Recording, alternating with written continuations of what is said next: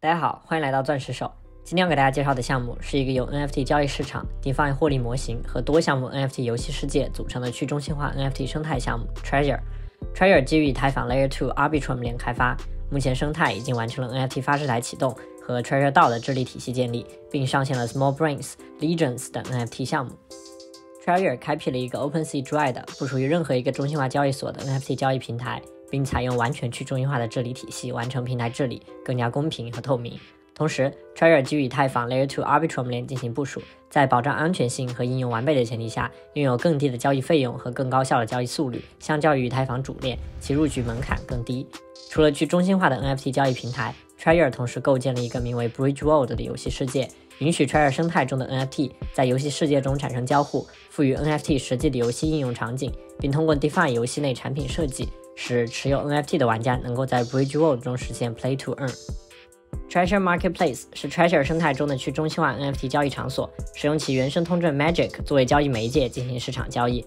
Marketplace 上线的 NFT 产品由三部分组成：Bridge World 游戏世界原生 NFT 英雄 Legends，与 Treasure 生态合作的 NFT 产品，以及 Bridge World 游戏中的珍宝物品 Treasure。Legends 作为 Bridge World 原生的英雄 NFT，将在 Bridge World 游戏世界中发挥重要作用。目前关于 Legends 实际游戏作用的资料还没有放出，但基于其他项目经验，Legends 英雄在游戏中的作用至少将包含英雄质押收益、副本或对战等游戏玩法的奖励等。Legends 也将作为游戏内部分玩法的入场券。目前，Treasure 平台已经与 Small Brains、Small Bodies、Life 等 NFT 项目达成合作，并上线其交易平台。其中，Small 系列 NFT 拥有属性体系，不同属性决定了其角色的稀有度，从而决定了其价值。根据白皮书，Treasure 还将通过 Bridge World 连接生态内的 NFT 产品，并将其资源和经济模型应用到不同的 NFT 产品中，实现 NFT Metaverse 的生态整合。Bridge World 游戏中的珍宝物品 Treasure 也作为 NFT 在市场上进行售卖，将随着游戏世界的开发解锁更多功能和用途。玩家将能够使用 Treasure 来获得游戏内的消耗品，并能够通过燃烧机制获得游戏内的特殊效果。Treasure 以 Magic 作为其原生代币，交易通货和治理代币。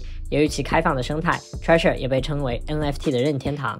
Treasure 在 NFT 交易市场中的角色，正如任天堂的游戏发行体系，它既可以发行自己原生的 NFT 项目，也可以作为平台方承接 NFT 项目的上线、宣发和运营工作。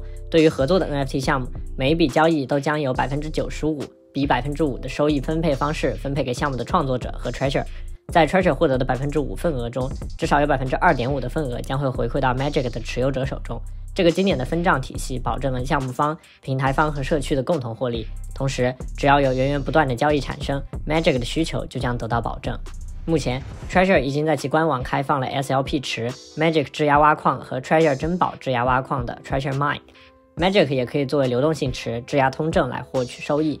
目前，根据开放的质押模式，玩家可以选择两周或一个月的锁定周期进行 Magic 通证的质押。锁定周期越长，其获得的收益率将越高。Magic 也将作为 Bridge World 游戏内的通用代币和 Treasure DAO 的治理通证。游戏内活动、未来相关的交互和奖励机制都将通过 Magic 完成，辅以游戏内的消耗性资源，共同构建整个游戏生态。Magic 同时具备相应的燃烧机制，来保证其价值的稳定。Treasure DAO 是目前市面上相对比较成熟的 NFT 项目去中心化治理组织。Treasure DAO 由承载项目提案讨论的 Forum 和进行提案投票 Snapshot 两个部分组成。任何社区成员都有权利提出关于 Treasure 的治理的提案和改进措施，并在 Forum 上公开公示至少一天，收集意见和讨论内容。公示结束后，提案将在 Snapshot 进行投票。持有治理通证的社区成员对提案完成审阅和投票后，若提案获得百分之六十六以上的赞成票，则提案通过，Treasure 将进行相应的改进。投票权和所持有的治理通证数量相关，通证数量越多，权重越大。通过去中心化的治理，Treasure 社区成员共同决定项目的去留、组织的发展和更新等重要话题，可以说是去中心化治理实践的重要范例。截止到二零二二年一月，Treasure 已经完成了 Magic 的公平发行、基础 DeFi 功能上线、资产迁移至 Arbitrum 等重要步骤，并开始了社区治理的初步尝试。未来，Treasure 将专注于与更多的 NFT 项目达成合作，并开发 Bridge World 游戏世界，对外发行可交互的 Bridge World 游戏玩法。需要提醒的是，在一月二十四日首批 Magic 发行时进行的为期三个月的质押通证将会解锁，届时其通证价格可能会有对应的市场波动，需要大家注意。除了 Treasure，专注于开展 NFT 交易市场的项目还有近期比较热门的 LooksRare。